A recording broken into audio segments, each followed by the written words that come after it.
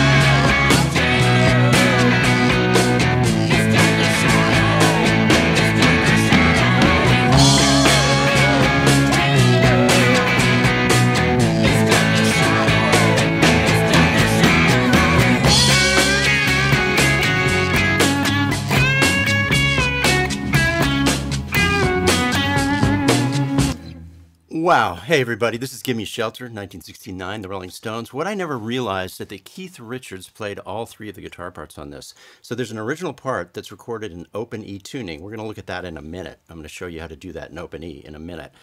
Uh, and then there are the other two parts, which are in standard tuning. And the guitar he used is a guitar that he only used twice used it on Midnight Rider, and on this song, it's called a Maton. It's an Australian guitar named after the founder, Bill May. It's a play on the words May and tone. And the company's still in existence. In fact, they make Tommy Emmanuel's really, really great uh, acoustic guitars these days. But there's a story about this that the guitar fell apart during the fade out of the take. And Keith Richards says that he felt something rubbery on the neck and the neck fell off and we were done with the song. I don't know if that's true or not. You guys, if you know the story, let me know. But you can see in the photos of the guitar that the neck pickup is missing. So maybe the neck pickup fell out. Who knows? These guys were living big rock star lives and uh, it's a long, long time ago.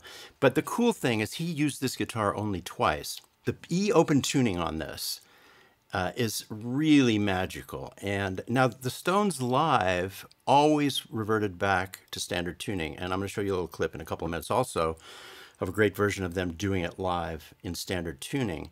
So I'm doing a workaround in standard tuning, and they did workarounds live too. But the original and open tuning, when when you when you hear it, uh, it's really legit. So for the open E tuning, we just make the open strings match the E in the first position. Bring the G up to G sharp. Bring the D up to E. Bring the A up to B. The intro sounds really cool in this open tuning with the index finger lightly brushing the strings along with the pick.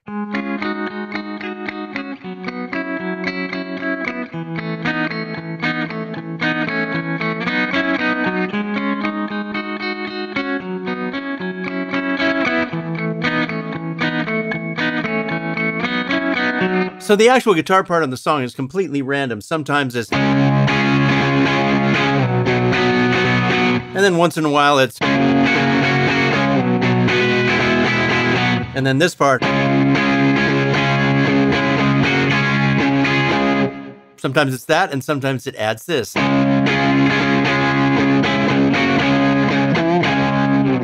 And then sometimes there's this down here.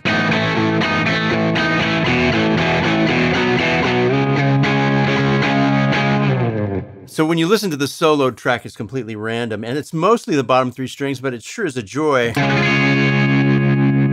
let those others bleed in, especially the third.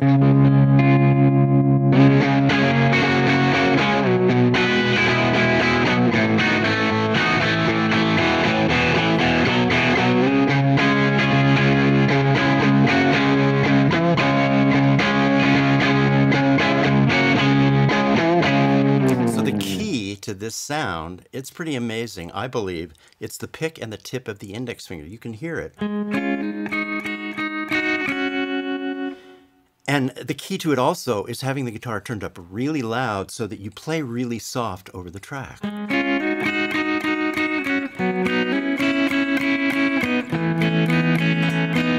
It's almost like you're painting with a paintbrush with the tip of your index finger. So if you want to try this, that's my suggestion on it. This is a Harmony Jupiter thin line. They just came out with this guitar. Uh, the gold foil pickups sound really great to me. Let me show you the neck. Show you the middle. And then the bridge, which is what I'm using now, so I really hear the brush.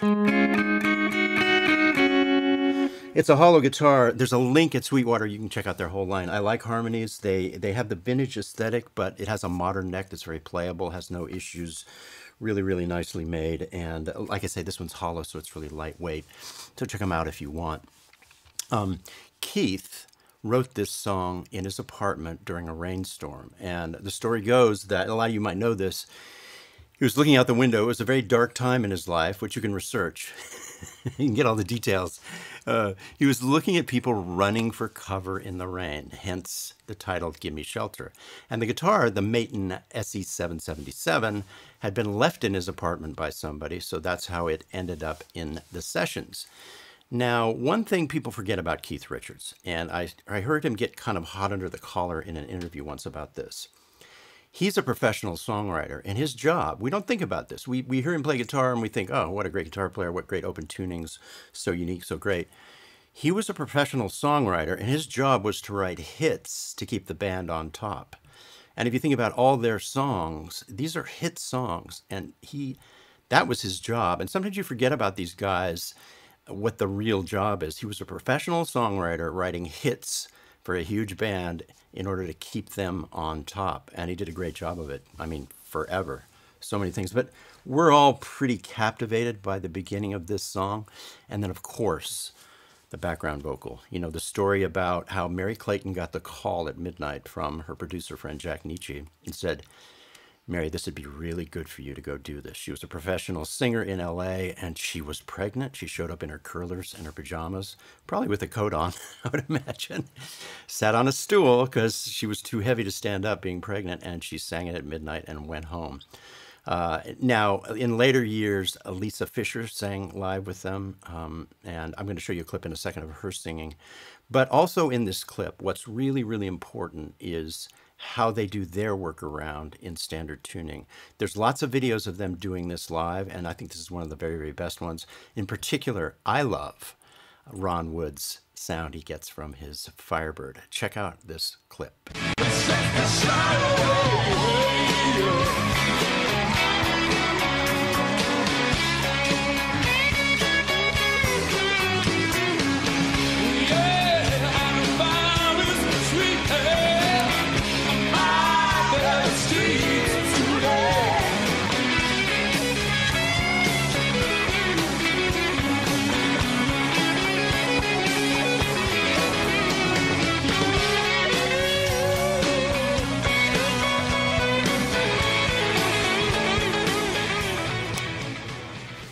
Yeah, so my suggestion to you on this, if you want to play it, learn it as best you can because the guitar parts never repeat. They're so random, particularly the lead part. Just learn it as best you can and do whatever workarounds you want to do to make it yours. You know, the, the hardest one for me in uh, standard tuning is this this little finger stretch right there, if my hands were a little bigger, because you can hear there's a tendency to go, you don't want to get those extra strings in. So that's probably the hardest thing for me in the standard tuning. This sounds pretty good. And then of course this you can cover just by shifting position and doing it there. If you want to support the channel, there's a special offer on the masterclass. Click the link below. It's a 14-day free trial if you want guitar lessons. Oh, and one other thing, we have hats. There's a link for these hats. This has been a long time in coming, so if you want a Tim Pierce guitar hat, uh, click that link below. So anyway, time for some questions. Uh, yeah, this guitar, this guitar really does well for this, I think because it's hollow. Somebody asked what effects I'm using. I am using a tremolo just set kind of fast. And I'm not really picky about tremolo pedals. There's some really good ones. I just like the wave to be soft, and I like it not to be in time unless you're doing a plug-in tremolo in time. That works, you know, if it's synced to the track. But if it's just a tremolo pedal, I like it to be playing against the track, probably in triplets. This is set a little fast. It's the MXR tremolo. But there are lots of good ones. The Boss tremolo is really good. I really like the Flint by Strymon. It has tremolo and reverb. So the only other effect on this is reverb coming out of my DAW, and then I pressed on a microamp, which is the one knob, one button, just boost for the amp.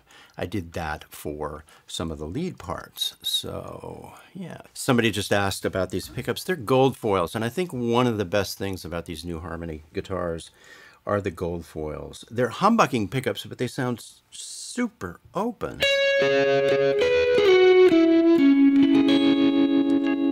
Tons of top end. They sound so single coil. So yeah, I, th I think they're really, really good. Yeah, James, Keith played this on whatever guitar he was using. I think in the clip we just saw it was a Les Paul Special, right? Correct me if I'm wrong. Um, but other times I saw him play a Les Paul, a ES335, his Telly, of course, a million times. So yeah, they were never precious about guitars. And one thing I like, he was never precious about these parts even. It was just, he just got up and kind of strummed through it. So that makes me feel better about playing it in open tuning. I think it should make you feel better about that too.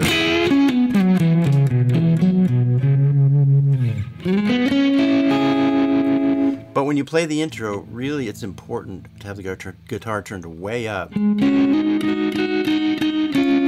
Play really light. I find the bridge pickup works, and if I play right here by the neck, I seem to get the good harmonic.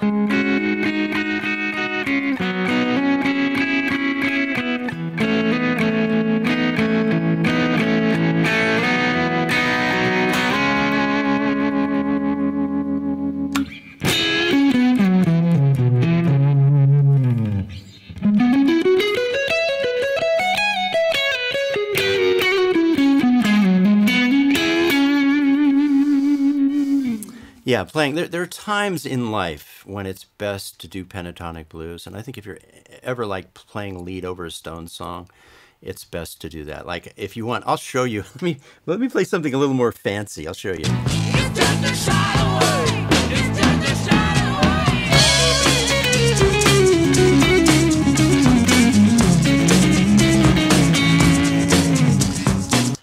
Just that right there, I think, is not the best way to play over something like this. You know, maybe one lick or something, but I think it's much better just to. I mean, I think Chuck Berry was probably Keith Richards' favorite guitar player.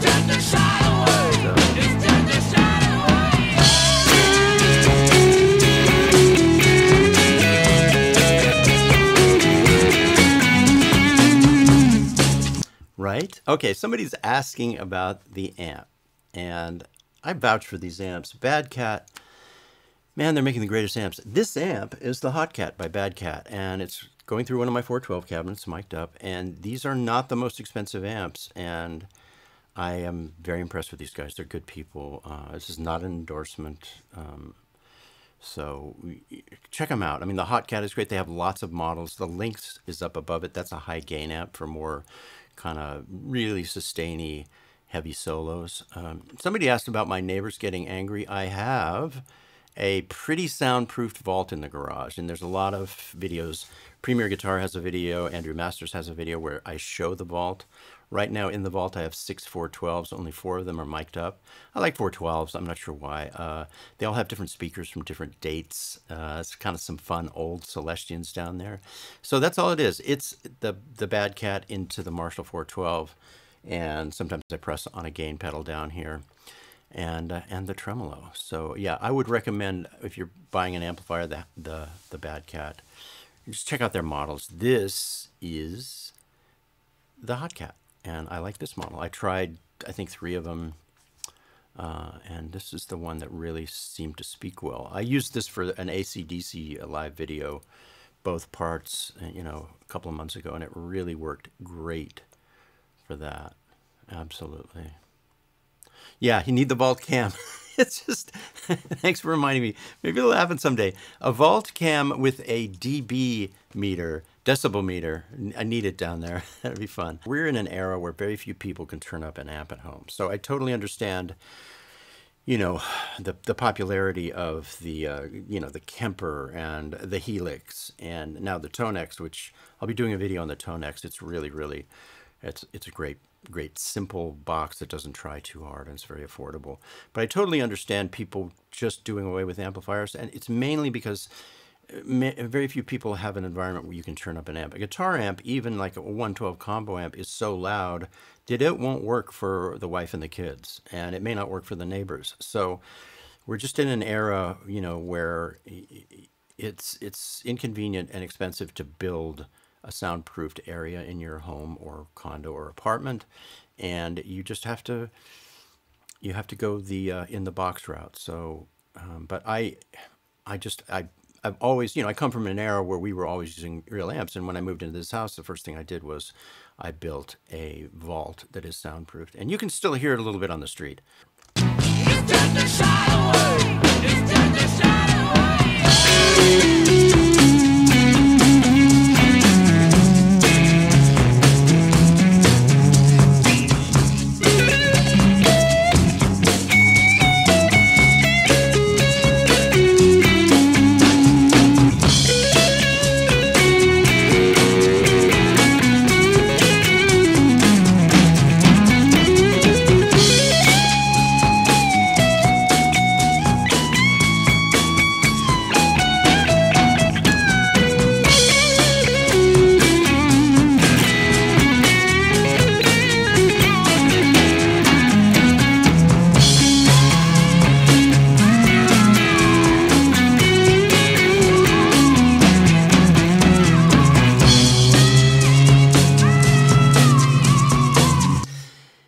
You can hear Merry Clayton sing there.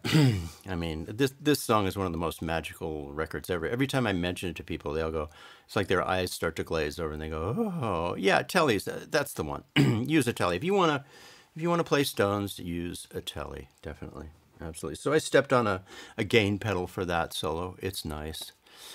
No, I'm not using any compression. So what happens? What happens with an amp, you turn it to the edge of breakup and it starts to self-compress. And so you get the best kind of compression from the amp just kind of evening out. And that's what's happening here. I never use a compressor. This distressor is there for acoustics and it's not even in the chain anymore for electrics. So all the compression comes from the amp being at the edge of breakup. No compressor. And yes, Johnny, this harmony is hollow. It's a brand new guitar. They came out with it two days ago, and uh, I was lucky enough to get one. And it's it's the build is pretty high quality. I mean, if you look closely, I could take a magnifying glass and like every every edge and the binding, everything is just absolutely perfect. So they really take a lot of pride in these. Um, that's locking tuners too, which can't you know can't argue with that. Oh, and the thing about Harmony, they they were in America the biggest guitar company in the world up until a point, and now they've been resurrected, and it's an American company. It's a good hybrid between the vintage aesthetic and the uh, modern aesthetic. This harmony is different than the Comet. The Comet is a neck through, and uh, the Comet plays like a little more of a modern guitar as far as the playability on the neck. This plays a little more like a vintage guitar as far as the playability on the neck. Um, the FM9 I love. I put it up a lot. Uh, I love Fractal. It, it requires a learning curve if you're going to use a Fractal. Uh, but once you do it and once you have the editor in front of you, it's there's nothing nothing better. It's I, I vouch for Fractal. Um, they're a great company and they work super hard to make great products. The other thing about the Fractal products is they're roadworthy. Um, there's been a lot of anecdotal stories about how some of the other modelers, they take them on the road and they actually break. Not with Fractal. Fractal is military grade manufacturing. And it's built, oh, Time for water. Um, Fractal is military grade manufacturing, and they're they're just bulletproof on the road. so you're asking about strings. Uh, about 20 years ago, I switched to elixirs, and I'm still kind of hooked on them. D'Addario makes a great coated string, but the coating that Elixir uses is a little more they're a little more coated and they're they're they're smooth. They just feel good.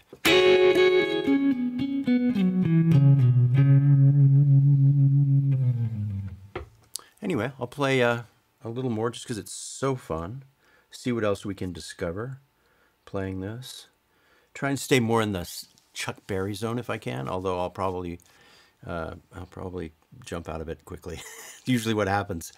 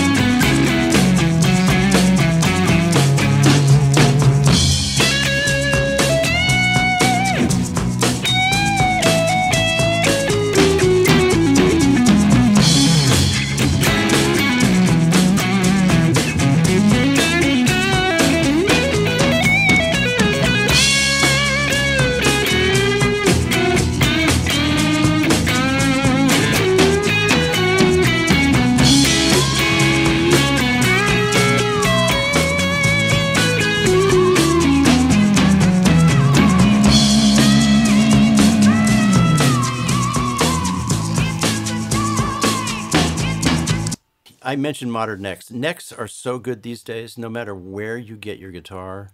These days, necks are so good, uh, and it's it's the CNC machine. Necks that are made on a CNC machine, you know, a computerized, programmed machine, they're just incredible. They're all great. And sometimes you'll get a, a couple, you might have to have a little work done. Uh, my test for a neck always is, does it fret out up here when I lower the action?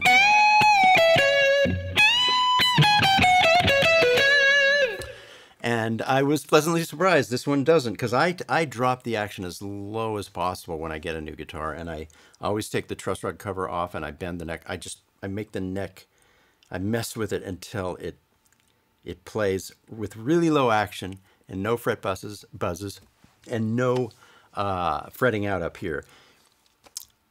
I mean, if you get a guitar and it frets out up here,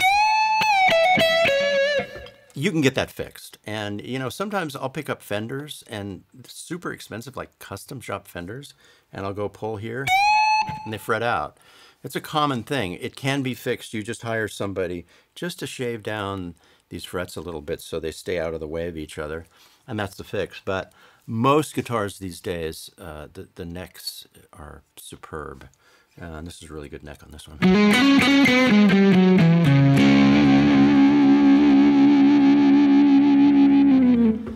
Yes, this is a Harmony. You can you can look it up. All the specs are. Uh, if you click the Sweetwater link below, you can look it up. Also, one more reminder: if you want to support the channel, the masterclass, there's a special offer right now. 100, 150 hours of uh, lessons, 1,800 videos, brand new 100 video beginners course, and there's a free trial, so you can opt out if you don't want to stay. I'm only using one pickup at a time, uh, but the middle position sounds really, really good. We'll wrap it up in a couple of minutes. I'll play a little more. We'll uh, answer one more question, and then we'll get on with our weekend. Here we go.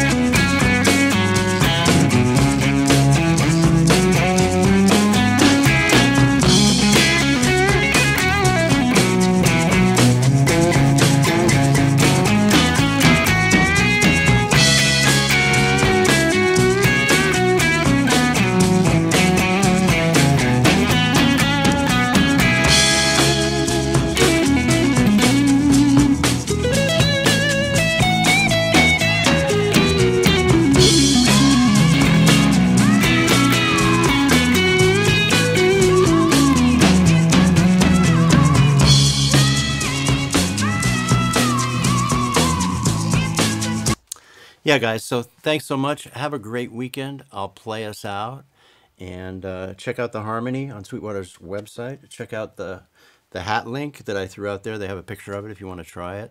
Uh, check out the masterclass if you like, if you want lessons, and uh, definitely check out check out all the stories on Give Me Shelter. You know, uh, I, I researched it. It's, it's really really a fun thing, and uh, I think their most hypnotic, dreamy song. Anyway, guys, have a great weekend. Thanks for joining us. See you next time.